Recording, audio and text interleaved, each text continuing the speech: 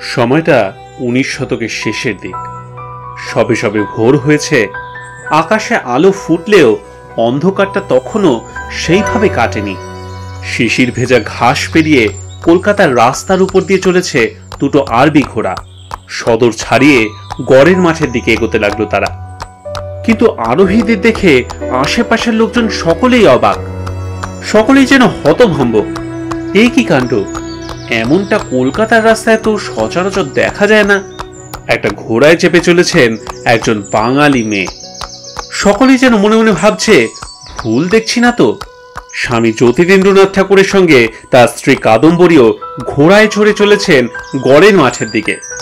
উনিশ শতকের কলকাতায় যখন অধিকাংশ মেয়েরাই বাড়ির অন্দরমহলে থাকতেন, এ যে কি বৈপ্লবিক একটা ব্যাপার, তা আজকের দিনে দাঁড়িয়ে বোঝাটা সত্যিই কঠিন। জোড়াসাঁকোর ঠাকুর বাড়ির সদস্যরা মানসিকভাবে এতটাই প্রগতিশীল ছিলেন। সাথে কি আর বাংলার নবজাগরণে তাদের এত বিশাল অবদান রয়েছে? তাদের এমন উদার মনোভাবের পিছনে একটা বড় কারণ হয়তো তাদের পিরালি ব্রাহ্মণ হওয়ার ইতিহাস। সেই সময় পিরালি ব্রাহ্মণ হওয়ার মানেই হিন্দু সমাজে তারা ব্রাহ্মণ হলেও খানিকটা এক ঘরে। তৎকালীন হিন্দু সমাজের নানা রকম কড়াকড়ি বাধা নিষেধ তারা অনেক আগেই পেরিয়ে চলে এসেছেন। কিন্তু এই পিরালি ব্রাহ্মণ কথাটার মানেটা কি? তৎকালীন হিন্দু সমাজ কেনই বা তাদের এক ঘরে ভাবত? তাহলে সেই নিয়েই একটা গল্প শোনাই আপনাদের। শুধু মনে রাখবেন যে এটা গল্প হলেও সত্যি। গল্পটা শুরু হয় পনেরো শতকে। সেদিন আকাশে কালো করে মেঘ ঘনিয়ে এসেছে। যখন তখন ঝড় বৃষ্টি হতে পারে। এমন দিনে নদীতে বজরা চড়ে বেরোনোর সাহস অনেকেই করবেন না। তাও দুর্যোগ অগ্রাহ্য করে বেরিয়ে পড়লেন পুরুষোত্তম জগন্নাথ। বলে রাখা ভালো যে পিঠাভোগের এক সম্পূর্ণ ব্রাহ্মণ রামগোপালের ছেলে এই পুরুষোত্তম জগন্নাথ। তিনিই হলেন কলকাতার ঠাকুর পরিবারের পূর্বপুরুষ। বাবার আদেশ পালন করতেই একটা বিশেষ কাজে চলেছেন তিনি। তার জন্য একটু দেরি করাও চলবে না। সারা দিন ধরে কোনো দুর্যোগ হলো না। কিন্তু সন্ধ্যের দিকে শুরু হলো চরম ঝড় বৃষ্টি।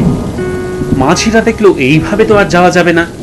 এমন ঝড়ে বজরায় থাকাটা মোটেই নিরাপদ নয়। কোনো মতে তারা দক্ষিণ দিহির কিয়াতলা ঘাটে বজরা ফেরালো। ঘাটের কাছেই ছিল একটা কালী মন্দির। সেই কালী মন্দিরের প্রতিষ্ঠাতা দক্ষিণানাথ রায়চৌধুরী। পুরুষোত্তম জগন্নাথ সেখানে গিয়েই সেদিনের রাতের মতন আশ্রয় চাইলেন।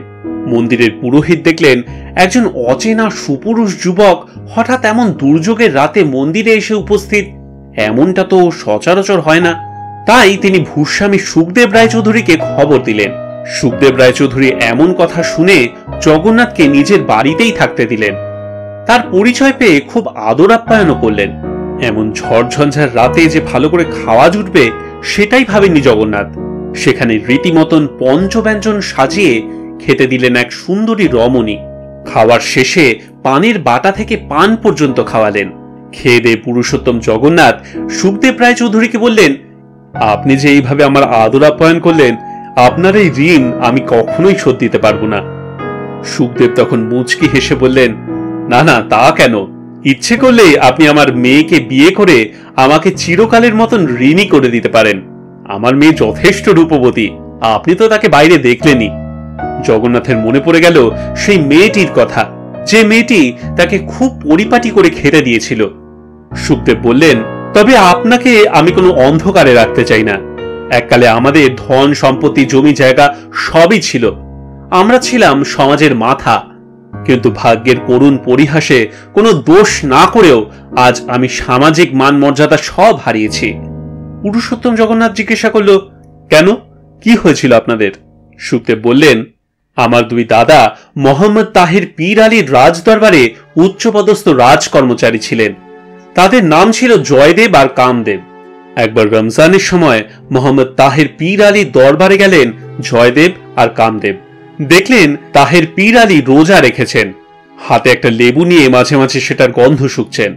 এই দেখে জয়দেব আর কামদেব খানিকটা রসিকতা করে বললেন, আমাদের শাস্ত্রে বলে, ঘ্রাণেন অর্ধ ভোজনং মানে গন্ধ নাকে গেলেই অর্ধেক খাওয়া হয়ে যায়। সেই হিসেবে কিন্তু আপনার অর্ধেক খাওয়া হয়ে গিয়েছে আর রোজাও ভেঙে গেছে। জয়দেব আর কামদেবের এমন মন্তব্যে মুখে কিচ্ছু না বললেও মনে মনে মোহাম্মদ তাহের পীর আলী বেজায় খেপলেন। ঠিক করলেন, এদের উচিত শিক্ষা দেবেন তিনি। একদিন রাজসভায় গোমাংসের রান্না চাপিয়ে ডাকলেন সেই জয়দেব আর কামদেবকে।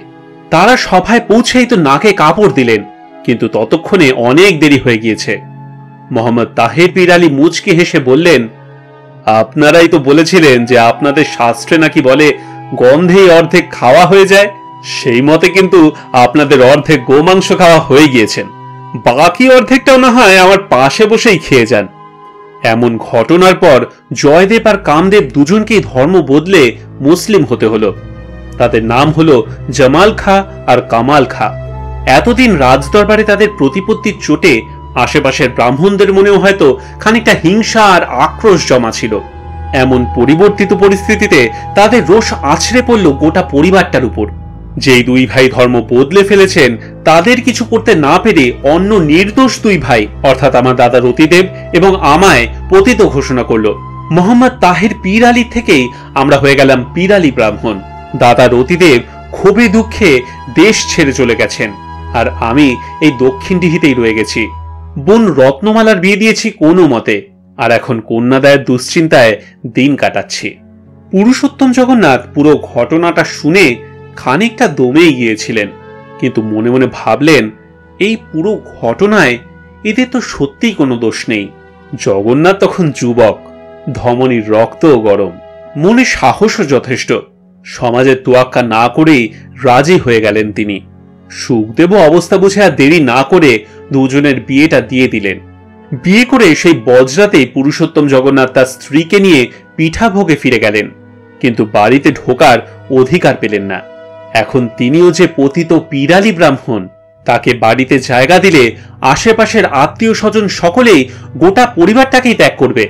যে ছেলেকে নিয়ে একসময় গোটা পরিবার গর্ব করত, সেই শিক্ষিত পুরুষোত্তম জগন্নাথকে কুলাঙ্গার বলে বাড়ি থেকে বার করে দেওয়া হলো। সুখদেব খুব ভালো করেই জানতেন যে ঠিক এমনটাই হবে। তাই তিনি নরেন্দ্রপুরের উত্তর পশ্চিম কোণে উত্তরপাড়া গ্রামের কাছে বারোপাড়া গ্রাম যৌতুক দিলেন পুরুষোত্তম জগন্নাথকে। আর সেখানেই জগন্নাথ তার পরিবারকে নিয়ে থাকতে শুরু করলেন। এই ঘটনাটা ঘটেছিল চোদ্দশো বত্রিশ খ্রিস্টাব্দে। এইভাবে তারা বেশ কয়েক পুরুষ সেই বারোপাড়া গ্রামেই কাটিয়ে দেন। তাদেরই এক উত্তর পুরুষ ছিলেন পঞ্চানন। পঞ্চাননের মনে খুব উচ্চাসা ছিল। তিনি শুনেছিলেন ভাগীরথীর তীরে কোনো এক গ্রামে যেতে পারলে তাদের ভাগ্য ফিরে যেতে পারে। যেমন ভাবা, তেমন কাজ। তিনি তার এক কাকার সাথে এসে পৌঁছলেন গোবিন্দপুর। মানে আজ যেটা আমরা কলকাতার ময়দান অঞ্চল বলি, সেখানে তখন কৈবর্ত শ্রেণির লোকজন থাকতো। অধিকাংশই মাছের ব্যবসা করে তারা। তাদের মধ্যে হঠাৎ একজন ব্রাহ্মণ এসে উপস্থিত হওয়ায় তারাও বেশ খুশি হলো। পঞ্চাননকে তারা ঠাকুর মশাই বলে ডাকতে লাগল। কিছুদিনের মধ্যে ব্রিটিশরাও এই কলকাতায় এসে উপস্থিত হলো।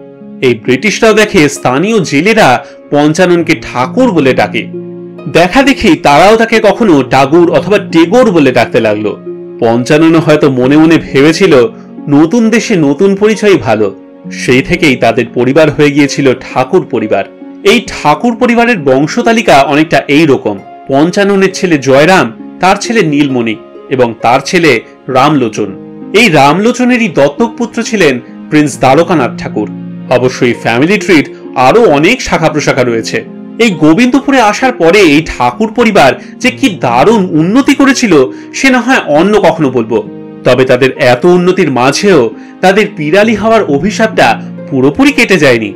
তার একটা উদাহরণ দিই আপনাদের। মহর্ষি দেবেন্দ্রনাথ ঠাকুরের পাঁচজন জামাই ছিল। তাদের প্রত্যেককেই ঠাকুর পরিবারের মেয়েকে বিয়ে করার পর তাদের নিজেদের পরিবার ত্যাগ করে ঘর জামাই হয়ে থাকতে হয়েছিল।